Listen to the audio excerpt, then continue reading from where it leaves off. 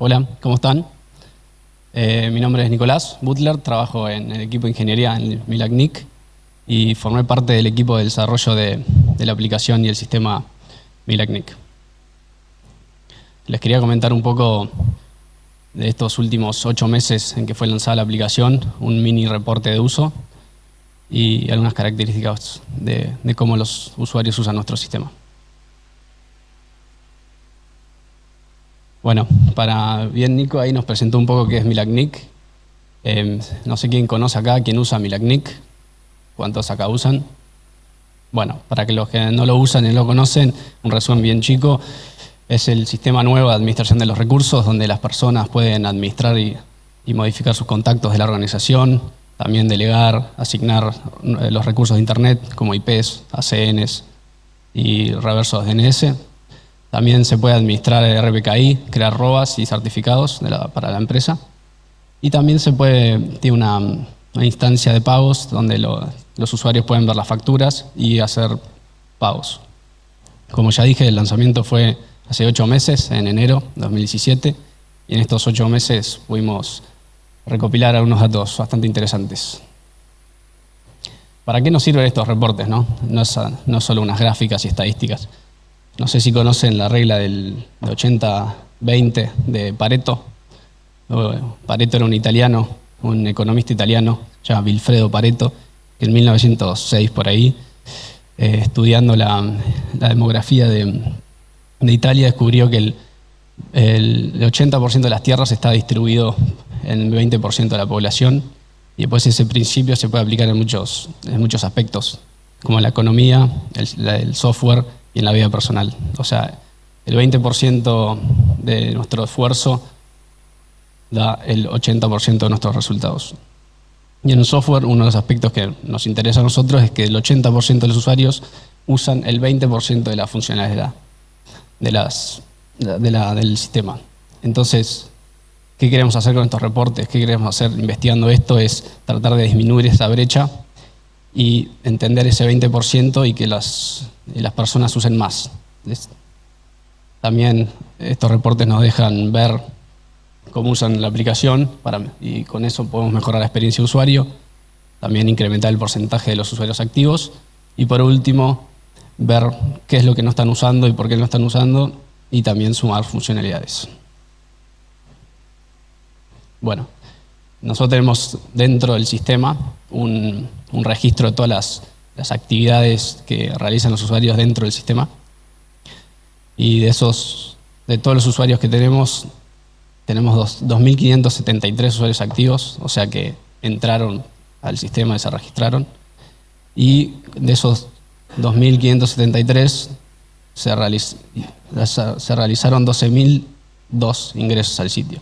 De esos 12.002 ingresos al sitio, se pueden sacar unos datos interesantes, como se crearon 320 ROAS, se hicieron 1.041 pagos, se modificaron la información personal de los usuarios 600 veces, se modificaron los RDNS unas 587, se hicieron un update de los ACNs para asignarlos a los bloques, también se crearon bastantes certificados, se hicieron delegaciones nuevas y lo, mayor que se hizo fue la modificación de la información de contactos. Entonces, esto nos muestra que, es útil, ya que esa información estaba como deprecada, entonces los usuarios pudieron modificar eso. También hace tres meses incluimos Google Analytics en el sitio. Esto nos ayuda a entender el, flujo, el comportamiento de las personas dentro y cómo llegan a, nuestro sitio Milagnic. Y también nos da unos datos importantes como la demografía, el, ya lo dije, el uso del sitio, la tecnología con la que entran y usan y otros datos que les voy a mostrar.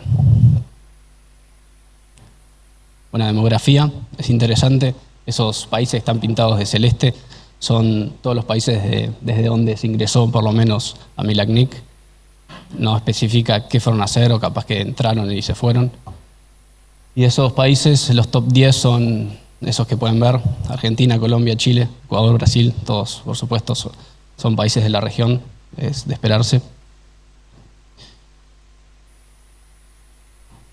También nos puede dar información de los dispositivos que se usaron para entrar.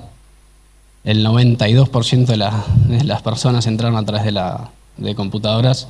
Esto nos da una información de que, en dónde tenemos que prestar atención, en cómo se ve el, sistema y la aplicación en, en, computadoras y en pantallas más grandes. Un 7% solo entró a través de dispositivos móviles. Se usó Chrome, mucho más que otros, y Android.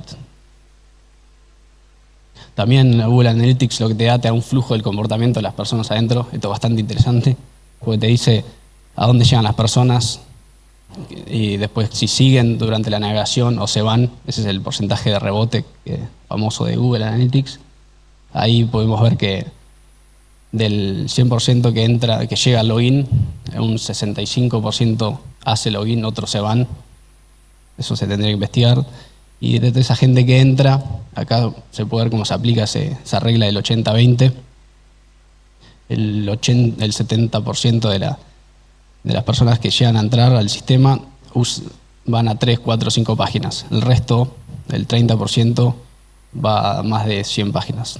Eso es interesante investigarlo. Otros datos interesantes es cómo aumentó el ingreso de los usuarios a nuestro sistema. Eh, por las difusiones que se hicieron en otros eventos y los mailing lists. Vemos como al principio los usuarios están en 500 y hoy en día se mantiene fijo unos 1.500 ingresos mensuales. También a la derecha, y a la derecha, ven de dónde vienen esos, esas personas. Direct quiere decir que entran directamente desde mm, desde la URL, o sea, ingresan en milacnic.lacnic.net. Eso es interesante. Referido es que entran desde algún link, desde alguna otra página. Es interesante que dentro de, referido el top 1 es lacnic.org, que es un redirect que tenemos. Y después Organic Search es desde una búsqueda desde Google, suponete.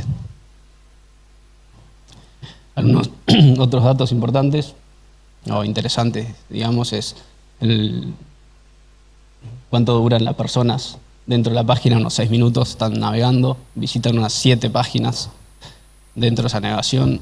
El porcentaje de rebote que ya mencioné es cuando entran, no hacen nada y se van, están un 30%, que es relativamente bajo.